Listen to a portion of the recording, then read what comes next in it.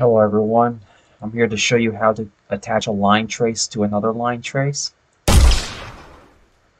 to create that uh, bullet exit hole effect with a decal.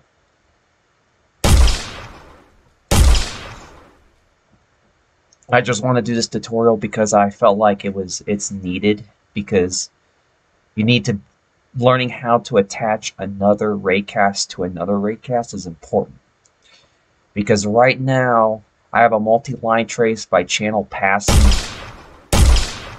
through this box here that can hit this back wall here.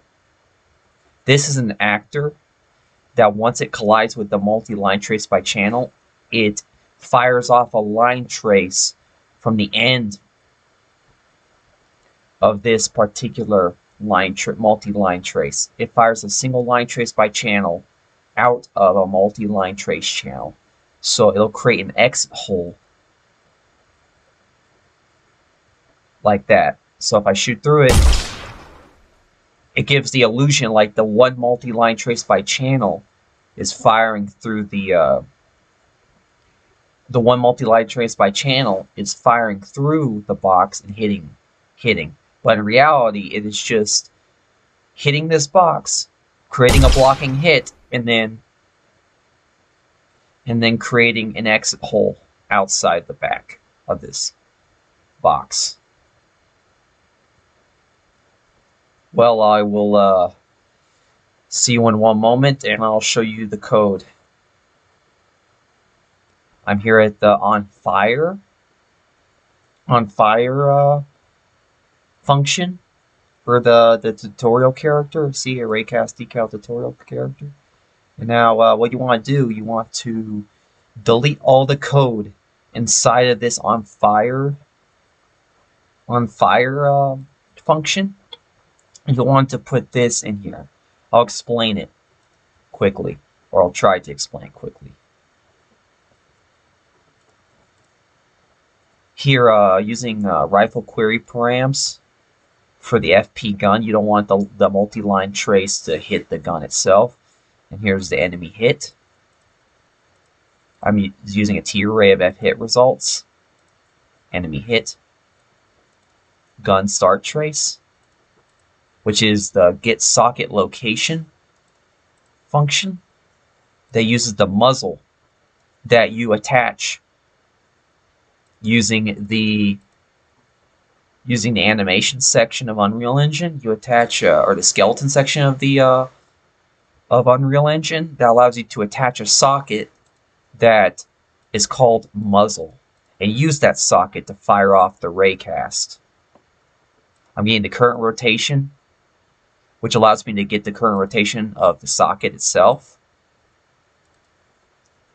which, you know, applies to the skeleton socket. So if you have a certain rotation, it'll affect it. It'll affect the line trace's rotation. The gun in trace is equal to start in trace plus current rotation vector multiplied by 7,000. And that's the uh, length of the line trace itself, or where it's going to end. I'm using a draw debug line line so that then I could, you know, of course, debug and show you more accurately. In end trace, which is the start trace plus the current rotation, which vector, I'm turning this into a vector multiplied by 7,000. See, now I'm using a multi-line trace by channel, so that then the, the first line trace can pass through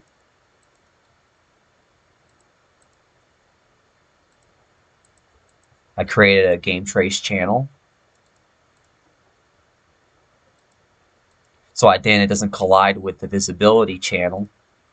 If I decide to use block, if I were to use visibility and create a blocking hit, it would it would account for both.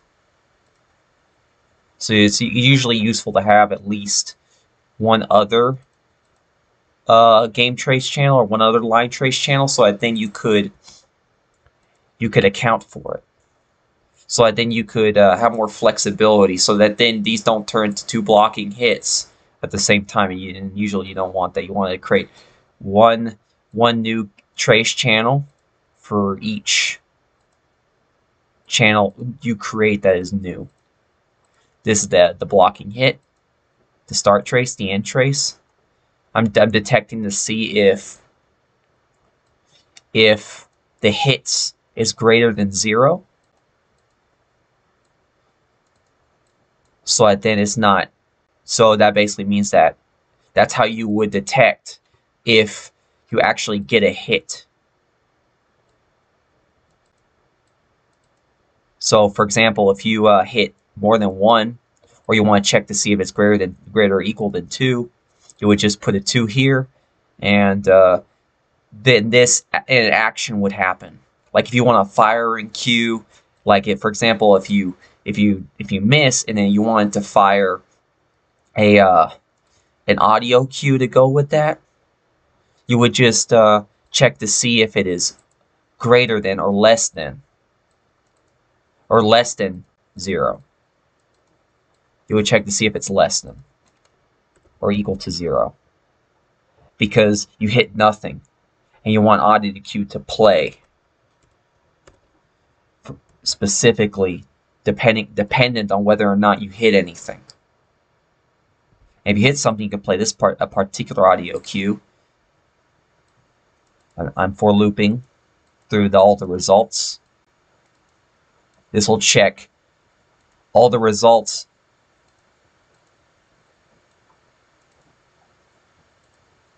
instead of like I don't know doing a traditional for loop by uh, calculating maybe five five f hit results.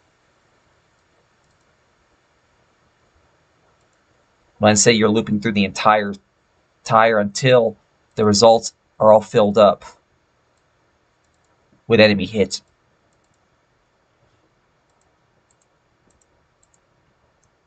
You're for looping through it, checking to see, or or or uh, checking to see if you actually hit through all the results and you're checking to see if there's any results at all by using this for loop.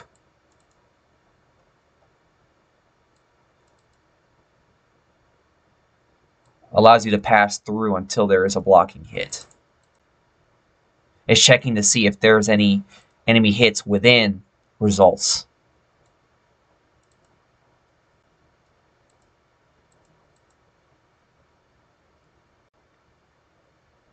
So um, I'm checking to see if an actor has gotten hit, casting to A actor, result with the results to get actor. And if it does happen, you plant a decal onto the actor itself. This is where I spawn the decal itself.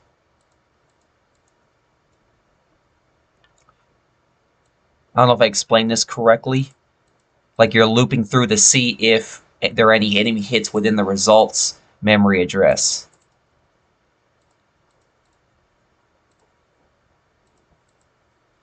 So if you do if you if you do hit you're casting to A actor and you results get actor. And you and then you're you're you're uh, gonna plant a decal on that actor.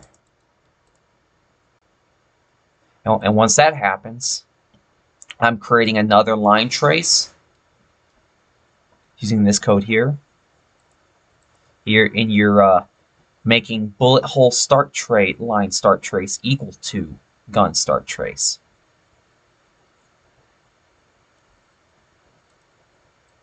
So you're making it equal to this socket location.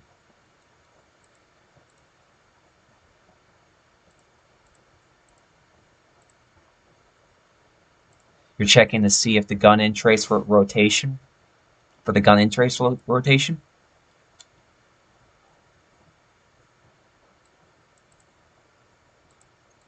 That is plus the bullet hole rota bullet hole current rotation. Using another draw debug line draw debug line to check for the second line trace. And then I am now uh, I'm now activating the line trace itself, the second line trace. And you're checking to see if it hits another actor with the same visibility channel. And now this is the decal bullet size, bullet hole size. You're checking the trace end rotation. So it's basically almost it's, it's the equivalent of the first rotation, gun end trace rotation.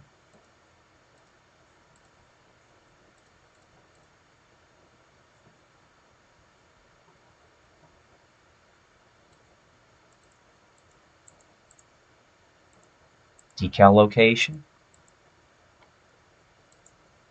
which is the blood line and trace location, or the bullet hole. Let me, let me change that.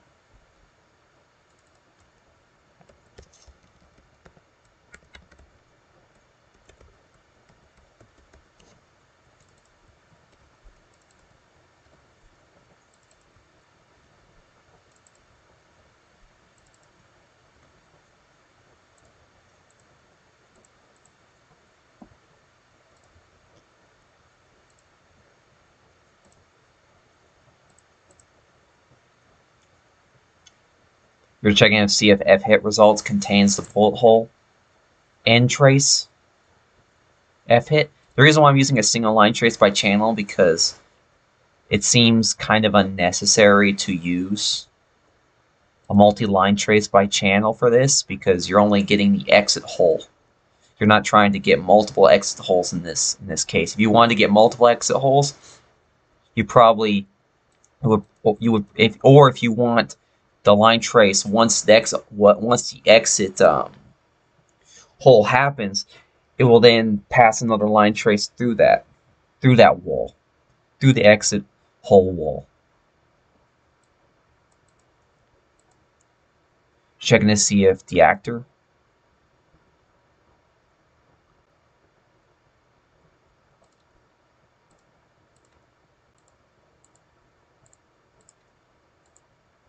I'm spawning a decal. And uh, that's about it. You're looping through to see the uh, see if enemy hit is in results. The enemy hit result, enemy or the T array F hit results is inside of results. You're loop, looping through to check for it. Excuse me.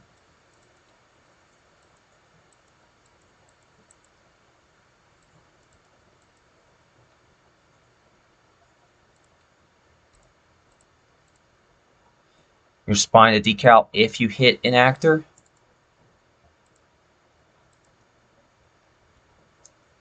To make this more precise, I could probably use the box actor itself by doing this. To checking specifically for that box actor.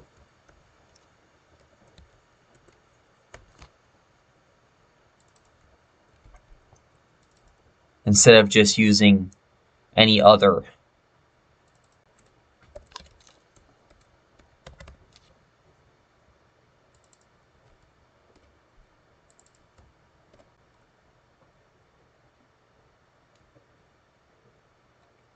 So I build it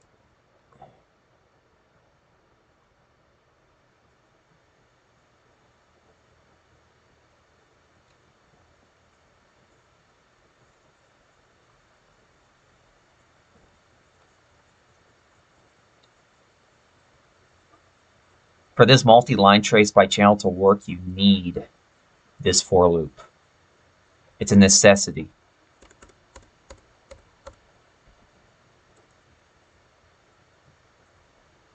So I'll, I'll go back to see if it worked.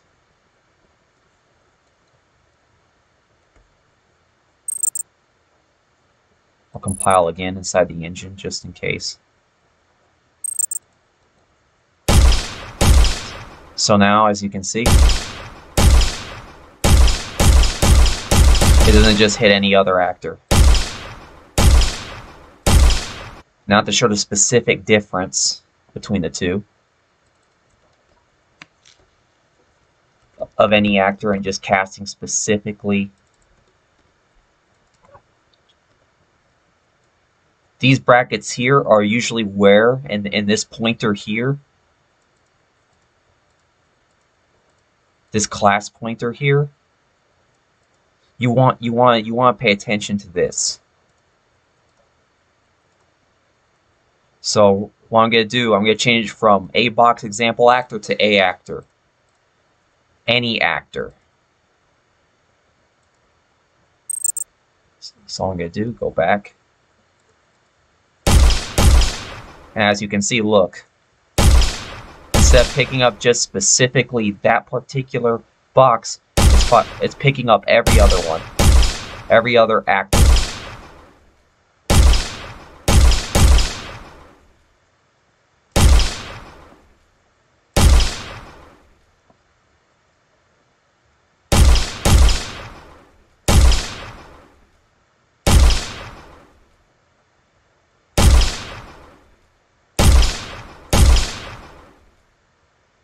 Huh.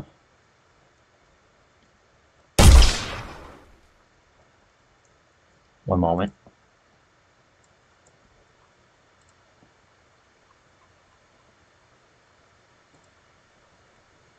See now it's uh it's picking up the see it blocked the visibility channel. You see that? And I'm gonna set it to ignore.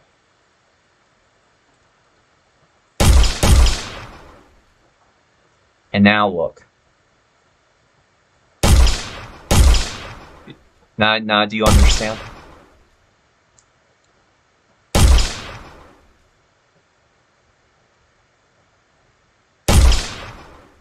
This one also. Set that to ignore. See now it's not blocking the visibility actor. Now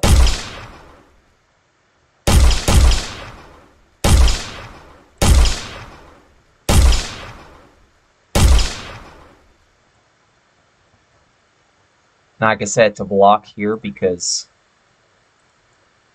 why not? Look. And now it'll block. Uh, part of the reason why I wanted to show this is to give more of an in-depth explanation to how this point this pointer works, so I can just change the bo A box example actor. So if you want to check for a specific actor that you want this cast to affect,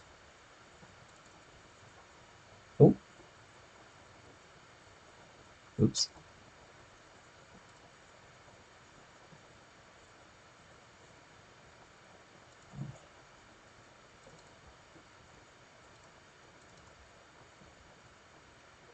You do this. You check specifically if this cast with this results, if you're checking to see if results actually hit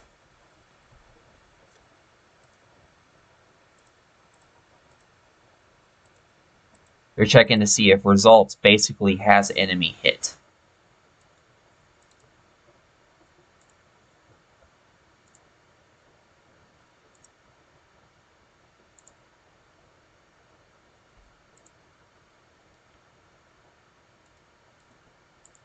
and if this actually works. go back here, compile.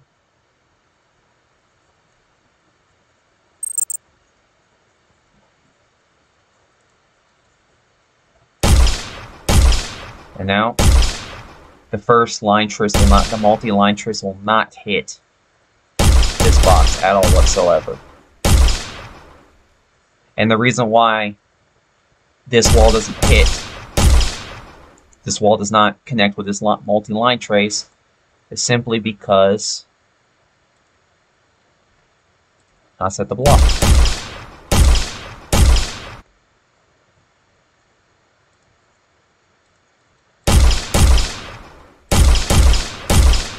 Oh no, it's not that. It's because the cast is preventing me from being able to hit it. Sorry. And the reason why this is not passing through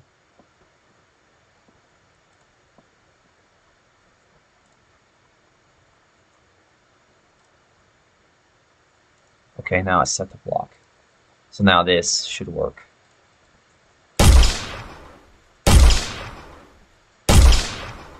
Well, I hope you enjoyed this tutorial on how to attach a raycast to um, another raycast. I hope you have a good day. Have a wonderful day. This, uh, have a wonderful day, and uh, I'll